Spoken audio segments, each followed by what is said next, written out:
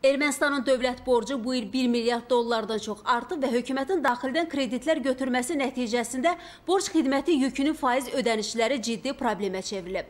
Erməni iqtisadçı ekspertlər uzun müddət bu cür şəraitdə sabit iqtisadi artım tempini təmin etməyi mümkün olmadığını, ölkənin yığılmış borcunun 60 faizlik həddi aşdığını, kritik səviyyə çatanda ciddi problemlər yaranacağını bildiriblər. Mütəxəssislər borc yükünü azaltmaq üçün görülə biləcək optimist tədbirlərə şübhə ilə yanaşdırırlar yanaşdıqlarını da deyirlər. Ermənistanda mövcud olan sənaye potensialı belə e, ekspert hesablamalarına görə təqribən 60-70 faizə qədər heç işləh vəziyyətdə deyil. Ona görə də e, bütün bu problemlər son nəticədə həm işsizliyin artmasına, həm e, inflyasiyanın sürətlənməsinə və sözsüz ki, sonda iqtisadi artım gözləntilərinin demək olar ki, sıfıra yaxınlaşmasına şərait yaradacaq. Erməni ekspertləri deyir ki, ölkə büdcəsinin əsas gəlir mənbəyi mədən sənayesidir və bu sahə beynəlxalq bazar qiymətlərinə asılı olduğuna görə proqnozlar qeyri-sabit, etibarsızdır.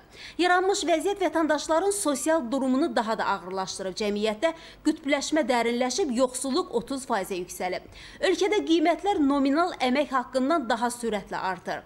İnvestisiyalar üçün gəlir gətirən sahələr azalmaqdadır. Eyni zamanda sərmayə üçün cavab cavab verən bazarın olmaması səbəbindən erməni investorlar ölkələrinə yatırımlar etməkdə maraqlı deyirlər.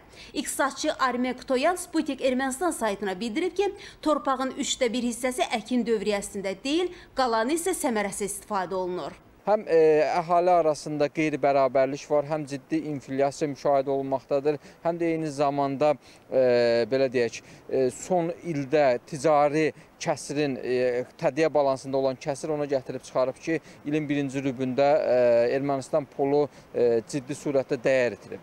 Bütün bunlar əhalinin sosial cəhətdən zəif təbəqəsinə ciddi mənfi təsir göstərməkdədir. Ermənistanda hökumət çıxış yolunu yaranmış vəziyyətə etiraz edən vətəndaşları əzməkdə tapıb.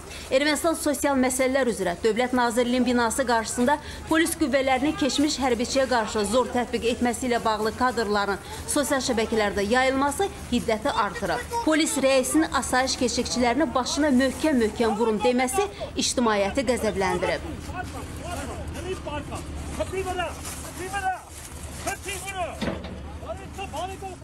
Erməni mətbuatın yazdığına görə döyülən hərbçi xəstəxanaya yerləşdirilib komadadır. Baş verənlərlə bağlı ölkənin hüquq müdafiəçiləri və vəkillər kollegiyasının üzvləri aidiyyatı qurumlara, o cümlədən beynəlxalq humanitar təşkilatlara birgə bəyanatla müraciət etməyə planlaşdırırlar. Başqa bir məsələ Ermənistanın xarici ölkələrdəki səfirlərinin bir-bir geri çağırılmasıdır. Növbəti dəfə baş nazir Nikol Paşinyanın Ermənistanın İrandakı səfiri Artaşes Tumanyanı geri çağırması diplomatın hiddətinə səbəb olub.